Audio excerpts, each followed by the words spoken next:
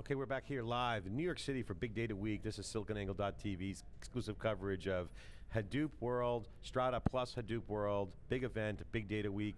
Um, we just wrote a blog post on SiliconANGLE.com calling this the South by Southwest for data geeks, and and um, it's my prediction that this is going to turn into a quite the geek fest. Uh, obviously, the crowd here is enormous, packed, and an amazing event, and uh, we're excited. This is SiliconANGLE.com. I'm the founder, John Furrier. I'm joined with my co-host. I'm Dave Vellante of Wikibon.org, where people go for free research and peers collaborate to solve problems. And we're here with Jack Norris, who's the Vice President of Market, Marketing at MapR, a company that we've been tracking for, for quite some time. Jack, welcome back to theCUBE. Thank you, Dave. I got to hand it to you, you know, we met quite a while ago now, it was well over a year ago, and we were pushing at you guys and saying, well, you know, open source and that. Look, we're solving problems for customers. We got the right model, we think. You know, this yep. is this is our strategy. We're sticking to it. And watch what happens. And like I said, I have to hand it to you. You guys are really have some great traction in the market. You're doing what you said, and so congratulations on that. I know you got a lot more work to do, but yeah, to go. Yeah, and actually the the topic of openness is one that's it's pretty interesting. Um, and uh, you know, if you look at the different options out there, all of them are combining open source with some proprietary. Uh, now, in the case of some distributions, it's very small, like an ODBC driver with a proprietary um, driver. Um, but I think it represents that, that any solution combining to make it more open is, is important. So what we've done is make innovations, but while we've made those innovations, we've opened up and provided APIs like NFS for standard access, like REST, like mm-hmm. uh, ODBC drivers, et cetera. Yes. So, so it's a spectrum. I mean, actually, we were at Oracle Open World a few weeks ago, and you, know, you listen to Larry Ellison talk about the Oracle public cloud, makes actually a very strong case that it's open. You can move data. It's all Java, so it's all about the standards. Yeah. And uh, yeah, you know, absolutely. It, it, it, from an open standpoint, but it's really all about the business value. That's yep. that's what the bottom line is. So. Uh, we had your CEO, John Schroeder, on yesterday. Uh, John and I both were very impressed with um, essentially what he described as your philosophy of we, we announce a product when we have we have customers when we announce that product, and um, you know, that's impressive. And that way he was also giving some good feedback to startup entrepreneurs out there who are obviously there's a lot of action going on with the startup community, and he's basically said the same thing: get customers, yep. and that's it. That's all. And use your tech but don't be so locked into the tech. Get the customers, understand the needs, and then deliver that. So you, guys have done great, and uh, I want to talk about the, the, show here, okay? Because uh, you guys are um, have a big booth and big presence here at the show. What what have you guys are learning? Obviously, how's the positioning? How's the new M7 news hitting? Give us the quick update. So uh, a lot of news. Uh, first started uh, on Tuesday where we announced the M7 edition, mm -hmm. and uh, yeah, I brought a demo here for me for you all uh, because the, the big thing about M7 is what we don't have. So uh, we're not demoing region servers, we're not demoing compactions, uh, we're not demoing a lot of uh, manual administration, uh, administrative tasks. So what that, what that really means is that we took the stack, and if you look at HBase, um, HBase today has about half of Hadoop users uh, adopting HBase. So it's a lot of momentum in the market uh, and you know used for everything from real-time analytics to kind of lightweight OLTP processing. but it's an infrastructure that sits on top of a JVM that stores its data in the Hadoop distributed file system that sits on a JVM that stores its data in a Linux file system that writes to disk. And so a lot of the complexity is that stack. And so as an administrator, you have to worry about how data gets uh, uh, you know, kind of basically written across that. And you've got region servers to keep up. Uh, when you're doing kind of writes, you have things called compactions, which increase response time. So it's a, it's a complex environment. And we've spent quite a bit of time in, in collapsing that infrastructure and with the M7 edition, you've got files and tables together in the same layer writing directly to disk. So there's no region servers, uh, there's no compactions to deal with, there's no pre-splitting of tables and trying to do manual merges. It just makes it much, much simpler. Let's talk about some of your customers in terms of um, the profile of these guys. Are, uh, I'm, I'm assuming, and correct me if I'm wrong, that you're not selling to the tire kickers. You're selling to the guys who actually have some experience with, with Hadoop. Mm -hmm and have run into some of the limitations, and you come in and say, "Hey, we can solve some of those Yeah, problems." Is that yeah. is that is that right? Can you yeah, talk that- about that a little bit? That's pretty good characterization. I think part of it is when you're in the evaluation process and when you first uh, hear about Hadoop, it's kind of like the Gartner hype curve, right? And uh, you know this stuff it does everything, and of course you've got data protection because you've got things replicated across a cluster, and uh, of course you've got scalability because you can just add nodes, and you know so forth. Well, once you start using it, you realize that yes, I've got data replicated across the cluster, but if I accidentally delete something or if I've got some uh, corruption, that's replicated across the cluster too. So things like snapshots are really important so you can return to, you know, what was it five minutes before? Uh, you know, performance where you can get the most out of your hardware. Um, you know, ease of administration where I can cut this up into, into logical volumes and, and have policies at that whole level instead of at an individual file. So there's a, there's a bunch of features that really resonate with users after they've had some experience. And those tend to be our, um, you know, our, our kind of key customers. There's, a, there's another phase too, which is when you're testing Hadoop, you're looking at what's possible with this platform. What, what type of analytics can I do? When you go into production, now all of a sudden you're looking at how does this fit in with my SLAs? How does this fit in with my data protection uh, policies? You know, how do I integrate with my different data sources? And can I leverage existing code? You know, we had one customer, um, you know, large kind of uh, systems integrator for the federal government. They have a million lines of code that they were told to rewrite to run with other distributions that they could use just out of the box with MapR. So um, let's talk about some of those customers. Can you name some names and get, get Sure. specific? Sure. So um, actually, I'll, I'll, I'll talk with. Uh, we had a keynote today, and uh, we had this beautiful customer video that we had to cut because of time. So it's running in our booth, and it's uh, streaming on our website. And I think we've got a uh, actually some of the bumper here we kind of inserted. So, um, but I want to shout out to those because th- they ended up in the cutting room floor. Yeah, it's good. We've actually been running it here. Yeah, so week, uh, one was Rubicon Project, and um, they're they're an interesting uh, company. They're a real-time advertising platform, ad auction network. They recently passed uh, Google in terms of number one ad reach, as mentioned by ComScore, uh, and a lot of press on that. Um, I particularly like the headline that mentioned those three companies because uh, it was measured by ComScore, and ComScore is customer a too, right? MapR customer, and, and Google's a key partner. And uh, yesterday we announced a world record uh, for the Hadoop TeraSort running on running on Google. So um, M7 for Rubicon, it allows them to address and replace different point solutions that were running alongside of Hadoop, and uh, you know it simplifies their their potentially simplifies their architecture because now they have more things done with a single platform, increases performance, simplifies administration. Um, another customer is Ancestry.com, who uh, you know, maybe you've seen their ads or heard uh, some of their radio Sure. spots. Yep. Um, they're, they do a tremendous amount of, of data processing to you know, help family services and, and genealogy and figure out you know, family backgrounds. One of the things they do is, is DNA testing. Uh, so for an internet service to do that advanced technology is pretty impressive. And uh, you know, you send them, it's you know, ninety-nine dollars, I believe, and they'll send you a DNA kit. You spit in the tube, you send it back, and then they process that and match and give you insights into your family background. So for them, simplifying HBase meant additional performance, so they could do matches faster, and really simplified administration. Uh, so you know, in, in Melinda Graham's words, uh, you know, it's simpler because they're just not there. Those those components. Jack, I want to ask you about enterprise grade Hadoop because, um, yeah, um, and then uh, Ted Dunning because he was, he was mentioned by Tim Estes on his keynote speech. So, so you have some rock stars in, in the company. Also, this management team. We had your CEO. And we, we've interviewed MC Srivas and at Yeah. uh, Google I/O, and we were on a panel together. So I got to know your team, solid team. Uh, so we'll talk about uh, Ted in a minute, but I want to ask you about the enterprise grade Hadoop conversation.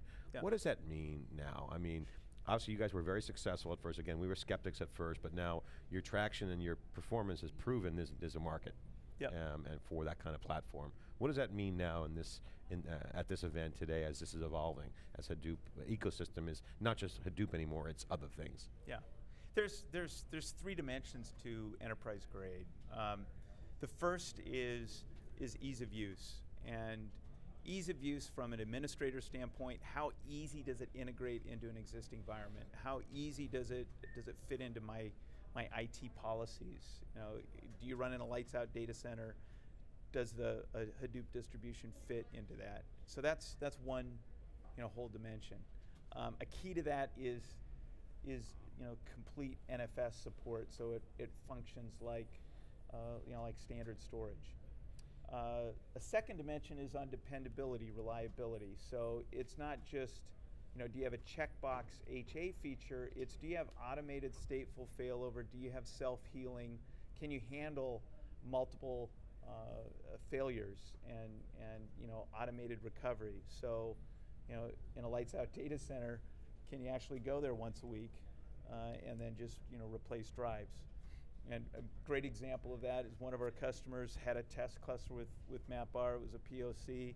Went on and did other things. They had a power failure. They came back a week later, and the cluster was up and running. And they hadn't done any manual uh, tasks there, and they were they were just blown away. The the recovery process for the other distribution is a long laundry list of. of so I got to ask you. I got to ask wait, you. Wait, what's the third one? What's the third one? Third one is performance. Oh, okay. Um, and performance is, is you know, kind of raw speed. It's also how do you leverage the infrastructure? Can you take advantage of, of the network infrastructure, multiple NICs? Can you take advantage of heterogeneous hardware? Can you, you know, mix and match for different workloads? And it's really about sharing a cluster for different use cases and, and different users, and there's a lot of features there. It's not just raw So speed. ease of use, fitting into the existing IT infrastructure policies, the whole, the whole what happens when something goes wrong? Can you automate that and then easy, speed, easy, dependable, fast, and, and we speed did with the same diversity? thing, yeah, okay. making HBase uh, easy, dependable, fast with M7. So the talk of the show right now, you had the keynote this morning, is that you, the MapR Marketing has dropped the uh, big data term and going with datacosm. Is that true? is that true? So Joe Hellerstein just had a tweet. Joe, um, famous uh, Cal Berkeley professor, computer science professor, now is CEO of a startup. Um, uh, what's the name of the startup? Trifacta. They're doing he had a good couple epic tweets this week. So shout out to Joe Hellerstein. But Joe Hellerstein's tweet just says MapR Marketing has decided to drop the term big data and go with datacosm with a shout out to George Gilder. So uh, kind of like little intellectual Yeah, kind of humor. yeah. So what is that? What, what's what's your response to that? Is it true? What's happening? What, what is uh, you? Are you a VP of marketing? Yeah. What- well, if, if you look at the big data term, I, I think you know the, there's a lot of big data washing going on where um, you know architectures that have been out there for 30 years are you know all about big data. Uh, so I think there's a uh, there, there's the need for a more descriptive term. Um, the, the purpose of Data Datacosm was not to try to coin something or try to you know change a big data label. It was just to get people to take a step back and think, and to realize that we are in a massive paradigm shift.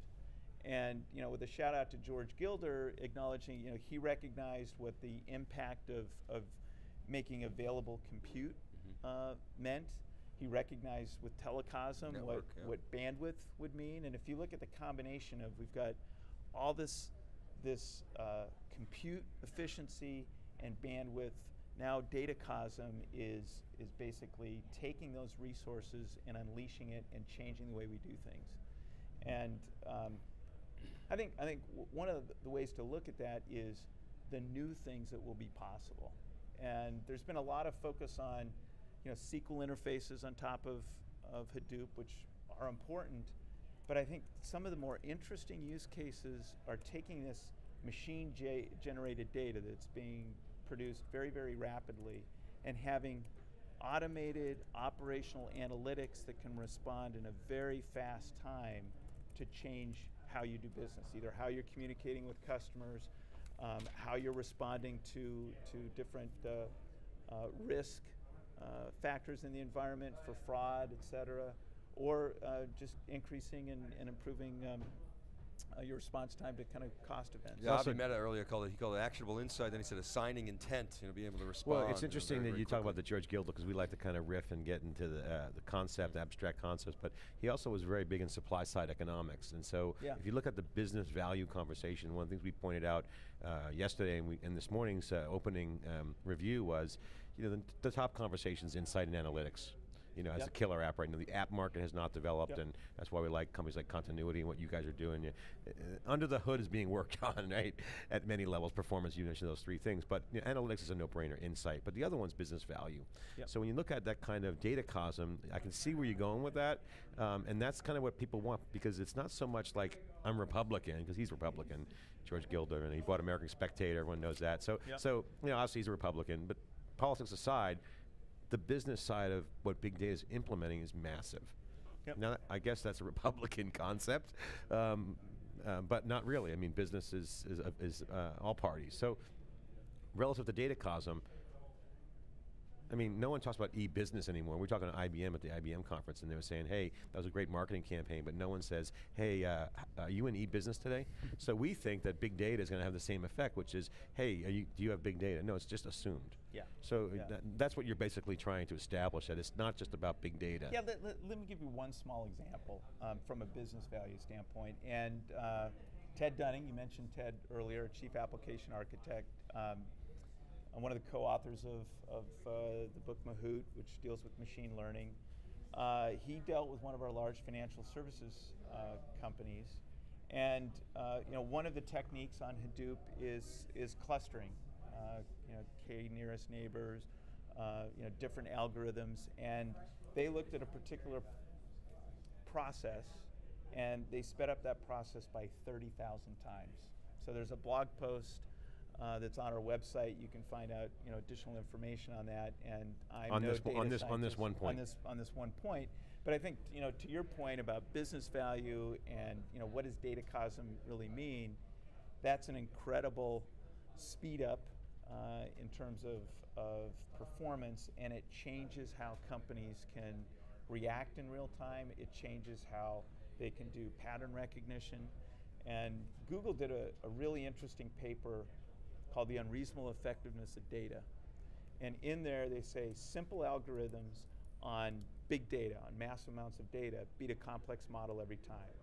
And so I think what we'll see is a movement away from data sampling and trying to do an 80 20 to looking at, at all your data and identifying where are the exceptions that we want to increase because they're you know, revenue exceptions or that we want to address because it's a, a cost or a, a fraud issue. Well, that's what I, I would give a shout out to uh, um, to the guys at Digital Reasoning. Tim Estes, uh, one plugged uh, Ted, it was idolized him in terms of his work. Obviously, his work is uh, awesome. But two, he brought up this concept of understanding gap, and he showed an interesting chart in his keynote, which was the data explosion. You know, it's up and you know straight Yes. up, right? It's Yes. massive amount of data, 64% unstructured by his calculation. Then he showed a, a flat line called attention. So as data's been exploding over time, going up, attention, I mean user attention, is flat with some uptick maybe. But so users and humans, Yes. they can't expand their mind fast enough. So machine learning, uh, technologies have to Yep. bridge that gap. That's analytics. That's insight. Yep. And, and, uh, you know, there's a big conversation now going on about more data or better models. People trying to squint through some of the comments that Google made and say, all right, does that mean we just throw out the models? Yeah, and- data trumps algorithms. Data trumps algorithms. But but the question I have is, do you think, and your customers talking about, okay, well now they have more data, can I actually develop better algorithms that are simpler Well, and you know, yeah, I- is it a virtuous cycle? Yeah, it's, I, I think, I mean, uh, there are, the, there's, there are a lot of debate here, a lot of information, but I think one of the, one of the interesting things is given that compute cycle, given the, you know, kind of that compute efficiency that we have, and given the bandwidth, you can take a model and then iterate very quickly on it and kind of arrive at, at insight. And in the past, it was just the, that amount of data and that amount of time to process, okay, that could take you 40 days to get to the point where you can do now in hours. Right, right. So I mean, the, great example is fraud detection. Yep. Right. So we used to sample six months later. Hey, your credit card might have been hacked, and now it's you know you get a phone call, you know, or you can't use your credit card Exactly. or whatever it is. And so, uh, but there's still a lot of use cases where you know, weather is an example where mo- modeling and better modeling would be very helpful. But, uh, excellent. So, um, so Datacosm, are you planning other, you know, marketing initiatives around that, or is this sort of tongue-in-cheek fun? Throw it out there, a little red meat into the to the uh, chum in the waters, as John you know, says. You know what really motivated us was, um, you know, the cubes here talking, you know, for the whole day. What could we possibly do to help give them a topic of conversation? Fantastic, yeah, thank Okay. Data that's Cosm is now Data in. Cosm. We love it. of course, we found that on our proprietary H-base tool. But, you know. Jack Norris, thanks for coming in. We appreciate your support. You guys have been great. We've been following you and continue to follow. You've been a great supporter of the Cube. want to thank you personally while we're here. Uh, MapR has been generous underwriter supports of our great independent editorial. want to recognize you guys. Thanks for your support, and we continue to look forward to watching you guys grow and kick ass. So thanks for all your support, and uh, we'll be right back with our next guest after this short break. Thank you. Thanks, Jack. ago, the video news business believed the internet was a fad. The science is settled. We all know the internet is here to stay. Bubbles and busts come and go, but the industry deserves a news team that goes the distance. Coming up on Social Angle are some interesting new metrics for measuring the worth of a customer on the web. What Zynga's Every morning, we're on the air to bring you the most up to date information on the tech industry, with scrutiny on releases of the day and news of industry wide trends. We're here daily with breaking analysis from the best minds in the business. Join me, Kristen Folletti, daily at the news desk on Silicon Angle TV, your reference point for tech innovation.